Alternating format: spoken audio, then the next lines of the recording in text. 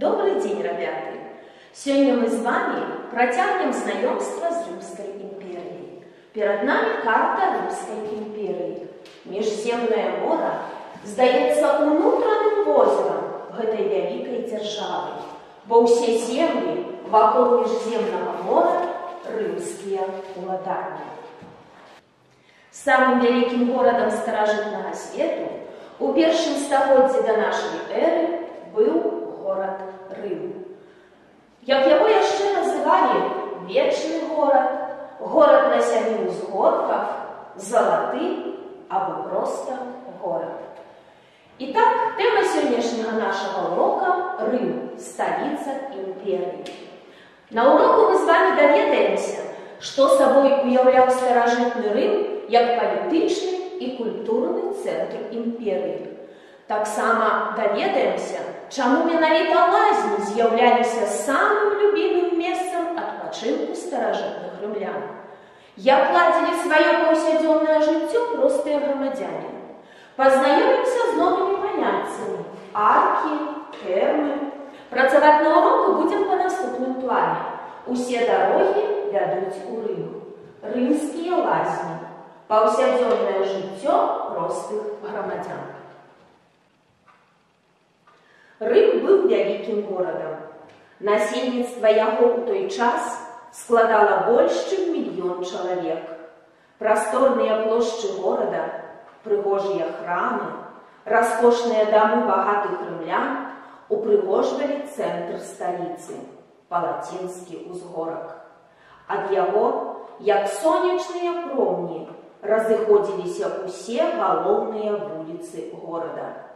Па краях праезжай часткі былі тратуары. Толькі дзякуючы ім на вузкіх вуліцах пешаходы маглі размінуцца з павозкамі. Дарогі з далёкіх і блізкіх правінцый, марскія шляхі вялі ў вечны горад. Сюды прыязджалі, прыплывалі на караблях купцы, дыпламаты, прыбывалі шматлікія транспартныя і гандлёвыя караблі з сыравінай і рабамі. Адсюль адпраўляліся ў паходы палкаводцы з войскам. На палаціне былі пабудаваны мармуровыя палацы імператараў. Яны захацелі золатам і каштоўнымі камянямі. Дарэчы, слова палацін ва ўсіх еўрапейскіх мовах стала синонімом слова палац, якое увайшло і ў беларускую мову. На форуме у гонар свайго кіравання і перамог імператары ставілі помнікі, узводзілі будынкі, фонтаны, майстравалі трыумфальныя аркі. Аркі уяўлялі сабой дугападобныя перакрыцці. Центр города уже у той час стаў сапраўдным музеем под адкрытым небам. С самой раніцы вуліцы і плошчы горада былі напоўнены натоўпамі людзей. У Рыме забаранялася ездзіць на павозках і канях. Багачам дазвалялася перамяшчацца на насілках, якія неслі спецыяльна падрыхтаваныя рабы гаспадара. Гонарам рымлян былі збудаванні для грамадскіх відовішчаў. Самым любімым месцам адпачынку рымлян з'яўляліся тэрмы, грамадскія лазні. Гэта былі велічныя пабудовы, якія складаліся з некалькіх будынкаў, паркаў, спартыўных пляцовак, фонтанаў. Наведвалі лазні усе, як багатыя, так і бедныя. Сюды прыходзілі не толькі памыцца, але і адпачыць, правесці вольны час у размовах з сябрамі, пагуляць у мяч, паесці, пачытаць кнігу ў спецыяльных бібліятэчных залах, паглядзець на дрэсіраваных звяроў. Распрануўшыся ў гардэробе, людзі ўваходзілі ў вялікую залу з басейнам напоўненым холоднай вадой.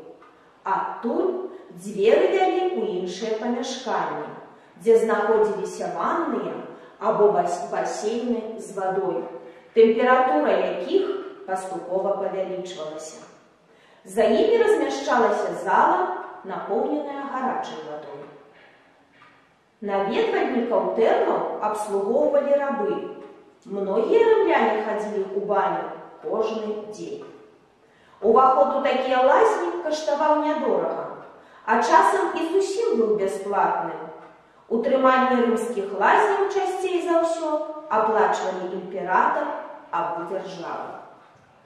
Амаль увесь свой свабодны час рымляне праводзілі па-за домам, на вуліцах горада, у цені калон прыгожых плошчаў, паблізу велічных палацаў.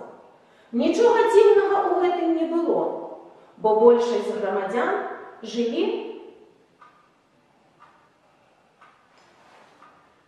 у дрэнных умовах. У бедных кварталах цесна стаялі высокія 5-6 павярховыя дамы.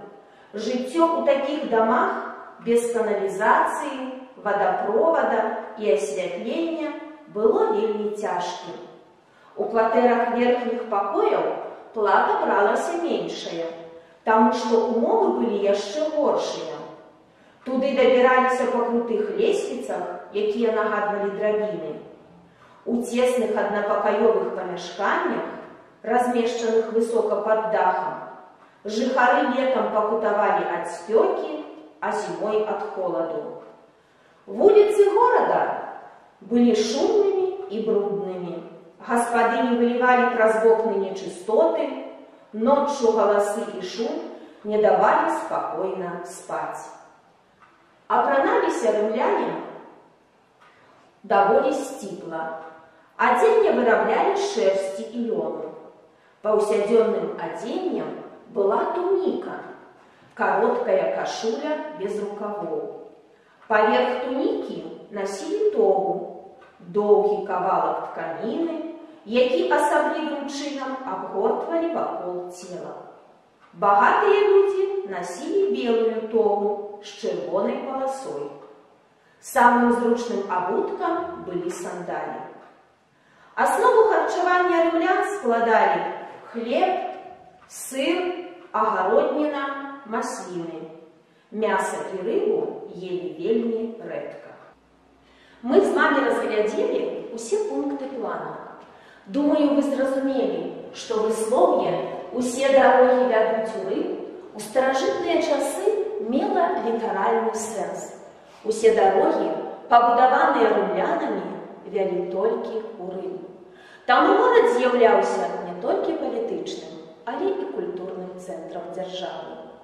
У ім былі засяроджаны велічныя будынкі і палацы.